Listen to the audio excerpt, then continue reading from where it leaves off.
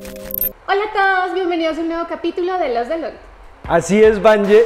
Eh, traemos noticias rápidas. Primera noticia, recuerden que el 26 de febrero vamos a estar visitando el equipo de New Age aquí en Bogotá. Y la segunda noticia importante es que hubo un empate constante entre Titanes y Cheer Planet de Villavicencio. Así que para no generar polémicas, vamos a visitar a los dos equipos.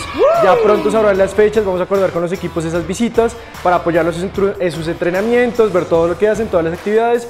Además que nos encanta visitar Duitama, Villavicencio, son lugares que nos encantan, así que allá nos vemos. Y es la primera vez que vamos a estar con un equipo en Villavicencio entrenando, entonces qué chévere que Cheer Planet sea ese primer equipo que nos abre las puertas al departamento del Meta, así que aquí vamos con toda. Allá nos vemos. Siguiente noticia, la Federación Colombiana de Porrismo está preparando una capacitación virtual gratuita. Esto va a ser el 14 y 15 de febrero, donde nos van a explicar muchísimo mejor y a profundidad el sistema adaptado que tienen preparado para este año 2023. Así que todos muy pendientes de la página de Facebook de la Federación porque van a tener invitados especiales que nos van a explicar cómo funciona este sistema adaptado.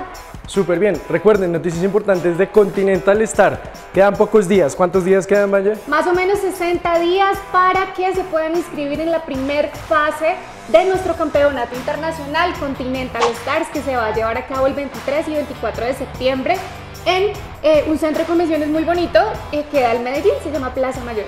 Así es, el 31 de marzo vence la primera fase de inscripciones y en esta semana daremos a conocer a los equipos, los primeros equipos que se inscribieron a nuestro campeonato y a los cuales visitaremos. Entonces a ellos eso es como su premio por ser tan juiciosos y estar tan coordinados durante todo el año, así que allá nos vemos a esos equipos. Gracias a todos los equipos que ya están iniciando sus procesos de inscripción, ahí estamos ayudándoles a todos para que puedan reservar ese cupo, así que si ustedes todavía no tienen claridad de cuántos deportistas tienen, que pues claro, estamos muy encima, pero pueden reservar su cupo. Aprovechen y reserven porque recuerden que solamente tendremos un día de cheer, un día de dance y el tiempo está como muy, muy, muy apretadito. Así que escríbanos, reserven su cupo y nos vemos en Medellín. Vale. Eso es todo por este capítulo. Sí, chao. chao.